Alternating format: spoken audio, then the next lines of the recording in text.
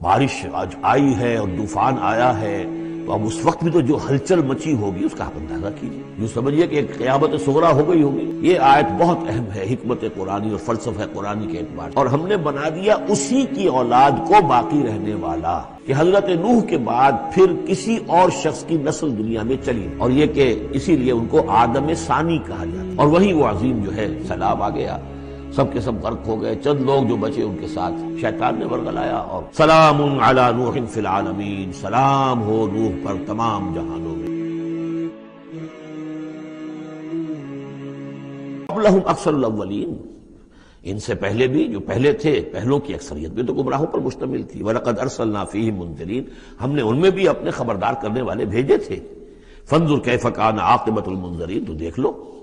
कैसा अंजाम हुआ उनका जिनको खबरदार कर दिया गया था। कौम नूह का क्या अंजाम हुआ? कौम हूद का, कौम साले का, कौम शायब का, और सदूम और आमूरा के शहरों का। तो देख लो क्या क्या अंजाम हुआ। इल्ला इबाद मुखलसीन। अलबत् उनमें से जो अल्लाह के खास बंदे थे, अल्लाह ने उनको बचाया। वलकर नादाना नूहन फलन मुजीबून। और हमें पुकारा था नूह ने तो हम क्या ही अच्छे हैं जवाब देने वाले और दुआ के कबूल करने वाले। रब इन्नी मगलूबन फंतसिर, हज़रत सलाम ने जब फरियाद की, परवरदिगार, मैं तो अब, मुझे तो इन्होंने दबा लिया है, मैं मगलूब हो गया हूँ। तो अब तू ही बदला ले और तू ही मदद फरमा। तो अल्लाह की मदद आ गई वह नजैना हो मिनल करब अजीम, और हमने उसे और उसके घर वालों को करब अजीम से निजात दे दी। अब कर्ब अजीम को आप खुद सोचिए कि एक तो कर्ब अजीम उनकी मुसलसल साढ़े नौ सौ बरस से एक शख्स दावत दे रहा हो, और लोग इस्तेजा कर रहे हो तमस्फुर कर रहे हैं। यूँ समझिए कि मक्के में तो यूँ कहा जा सकता है कि अभी दस बारह बरस ही हुए हैं मुसलमानों, तुम्हें ये झेलते हुए हमारे उस बंदे ने साढ़े नौ सौ बरस तक सबर किया था। तो उसका उसका अंदाज़ा करें किस कदर कर्ब में, किस कदर जीक में उसकी जान आई होगी। जैसे कि हम देखते आ रहे हैं कि हजूर की जान जिस तरह जीक में आ गई थी कि उनके ऊपर गोया के लोग इतमाम हुज्जत कर रहे हैं, दिखाइए कोई मौजदा। आप रसूल होने का दावा करते हैं। तो ऐसा ही मौजदा दिखाइए, जैसे मूसा ने दिखाए जैसे ईसा ने दिखाए और उधर से अल्लाह ताला का फैसला यह है कि कोई ऐसा हिस्सी मौजदा हम नहीं दिखाएँगे। तो चक्की के दो पार्टों के दरमियान मोहम्मद अलैहि वसल्लम आए हुए। ये तो सूर्य नाम जो इसका क्लाइमेक्स है, इस मौजू का, इस उजवान का, वो पढ़ चुके हैं। कर्ब अजीम फिर वो भी है कि जब वो बारिश आज आई है और तूफ़ान आया है तो अब उस वक्त भी तो जो हलचल मची होगी, उसका आप अंदाज़ा कीजिए। क्या भाग दौड़ हुई होगी? कहाँ कहाँ लोगों ने जान बचाने की कोशिश की होगी? यूँ ही तो नहीं हो गया कि बस आने वाहिद के अंदर वो सब के सब गर्क हो गए? तो कर्म अजीम जो उस वक्त हुआ है, यूँ समझिए कि एक क्यामत सोरा हो गई होगी। या योहनासतकुर अब्बा को सात अजीम। तो उसका कुछ ना कुछ अक्स तो उस वक्त हुआ होगा। तो उस कर्म अजीम से हमने उनको बचा लिया। वजालना जुर्रियत हुमुल बाकी ये आयत बहुत अहम है, हिकमत कुरानी और फलसफा कुरानी के एतबार से। और हमने बना दिया उसी की औलाद को बाकी रहने वाला। इससे यह साबित होता है यह उसलूब हसर है कि हज़रत नूह के बाद फिर किसी और शख्स की नस्ल दुनिया में चली नहीं। यानी यह कि उनके साथ बहत्तर थे, अस्सी थे, कितने थे, कितने नहीं थे। एक जगह कुरान में यह भी आया मामन माउल्ला कलील सिवाय चंद लोगों को ईमान नहीं लाया। और गुमान यही है कि या तो हज़रत नू सलाम और उनके तीन बेटे और उनके अहल खाना। और मुमकिन है कि एक बीवी तो पीछे रह गई, गर्क होने वाली थी, लेकिन कोई और बीवी उनकी हो कि उनके साथ हो। और बाकी यह कि मुमकिन है उनके जो कुछ मुलाजिम होंगे, खादिम होंगे, बस और मेरा ये ख्याल है कि उन पर कोई ईमान नहीं लाया। फिर ज़ाहिर बात है वो खादिम वगैरह जो होते हैं, फिर उनके साथ तो इतना इस्तेमाल नहीं होता कि उनकी औलादें भी आगे चल सकें। लिहाजा जो औलाद चली है, वो सिर्फ़ हज़रत नूसम के तीन बेटों से। गोया कि नस्ल इंसानी जो है, अब दुनिया में जितने इंसान हैं, वो हज़रत नू सलाम के तीन बेटों की नस्ल से हैं, साम, हाम और याफिस। और ये कि इसीलिए उनको आदम सानी कहा जाता है। आदम अव्वल तो हज़रत आदम थे, उन्हीं से नस्ल चली इंसानी।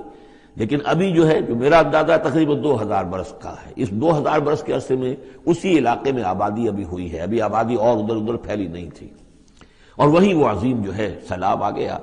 सबके सब गर्क हो गए। चंद लोग जो बचे उनके साथ। महसूस होता है कि उनकी भी आगे नस्ल नहीं चली, सिर्फ़ हज़रत सलाम के तीन बेटों से।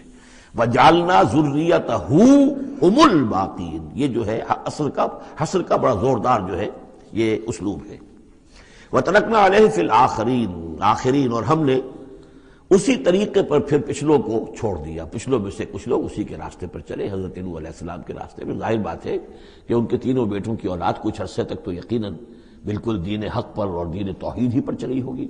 फिर जैसे वक्त गुजरा, फिर शैतान ने वर्गलाया और और यह कि मुख्तलिफ़ किस्म के तवाहमात में और मुख्तलिफ़ किस्म के जो शिरक हैं उनके अंदर मुबतला कर दिया। सलाम अला नूह फिलआलमीन सलाम हो नूह पर तमाम जहानों में। इन्ना कजाल का नजल मोहसरीन इसी तरह हम बदला देते हैं अपने मोहसिन बंदों को। वो बंदा जो दर्जा एहसान को पहुँच गया हो। इस्लाम, ईमान और फिर सबसे ऊपर एहसान। इन नहू में निबादन मोमिन यकीन वो हमारे मोमिन बंदों में से थे। सुम अगरक नल आखरीन, और उसके बाद हमने बाकी जितने भी थे, उन सबको गर्क कर दिया। वह नमिनशियत ही इब्राहिम, और उसी की राह पर चलने वालों में, उसी की जमात में से, उसी के हिज्म में से इब्राहिम थे। यानी ये कि जो नस्ल चली है आगे तो हज़रत इब्राहिम भी जो उठे उनकी, हज़रत शाम की औलाद में से। हज़रत शाम की औलाद में कौम आद भी है, उसी में फिर कौम सबूत भी है। और भी अकवाम है, सेमेटिक रेसिस जितनी भी है।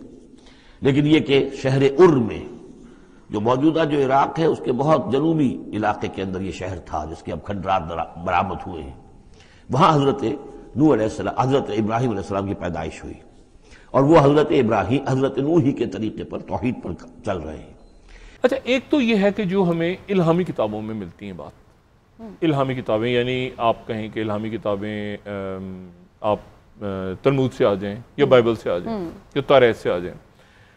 तो उसमें ये बयान होता है कि हज़रत नू सलाम के तीन बेटे थे ठीक है हम्म। हाम जाफे और साम ठीक साम वो जो थे सेमाइट नस्लें बनी जेफाइट हम्म। बनी हेमाइट्स बनी और वो फिर अगर हम उसके नक्शे दिखाएँ ये तीन ये ये ये बाइबल और वहाँ पर अगर आप जाएँ उसमें हम्म। तौरा में और तलमुद में तो आपको ये तीन बेटे हज़रत नू सलाम के आपको मिलते हैं। और तीन बेटों में से ये हुआ कि हज़रत नू सलाम ने हाम को बदुआ दी तो हाम की औलाद काली हो गई। अच्छा। ये ये वो है जो इलामी किताबों इलामी किताबें इलामी किताबें में ये कि हाम को बदवा दी उन्होंने हम्म। और हाम को बदवा दी तो उसकी जो नस्लें हैं वो आगे से काली हो गई ठीक है? और जो आ, उनका बेटा आ, जो साम था जो हम्म। साम था उनका बेटा उसकी जिसको शैम यहाँ लिखा हुआ है ये थोड़ा गंदुमी सा गंदुमी सा उसको हम्म। कहा कि तुम ज़मीन के इलाके के आसपास वो जमीनों में तो, तो वो ब्राउन हो गया हम्म। उसकी नस्लें ब्राउन हो गई और जो जाफे था वो जरा वो सफ़ेद हो हम्म, गया ठीक है? तो ये वो है इससे इल्हामी किताबों के अंदर अगर तो आप चले जाएँ तो ये मिलता है और ये आज की दुनिया में भी यूज़ होता है। वो कहते हैं हेमाइट्स हेमाइट्स हैं ये ये जो है ये सामी नस्ल अभी आप पढ़े कहीं उर्दू में आपको मतलब सामी नस्ल से ताल्लुक है सामी नस्लों से तो साम की नस्ल है। तो हम यहाँ यहाँ पे कहते हैं कि जी इंडो पैसिफिक में चूँकि ब्राउन है हम्म। तो देखिए आप आपको ब्राउन हाँ। ये आपको नज़र आएँगे ब्राउन इससे ठीक है ना ब्राउन वाइट ये दरमियान में हम कहीं नज़र आ रहे हैं। ये यानी अगर हम हम इलामी किताबों के उस पर चले जाएँ तो उसमें हज़रत नू आसमाम की औलाद से ये तीन आपको बड़े और ये कोई यूरोप में है कोई इंडो हम्म। पैसिफिक में है कोई इधर हम्म। अब मिसाल के तौर पे जैसे हाम से अफ्रीकन नस्ल वो कहते हैं जाफे से इंडो यूरोपियन और साम जो है उनसे एशियाई बाशिंदे ये जो है हम्म। ये बदुआओं का नतीजा अच्छा और ये फिर आज की दुनिया में ये नक्शा अगर बड़ा करके दिखा दें तो इसमें ये जो लेटेस्ट मैप शो कर रहा है ये कह रहा है कि साम की जो औलाद है वो आप देखें अफ्रीका में नज़र आ रही है जाफे की आपको यूरोप में नज़र आ रही है और हाम जो है वो आपको नज़र आ रहा है ये दरमियान में।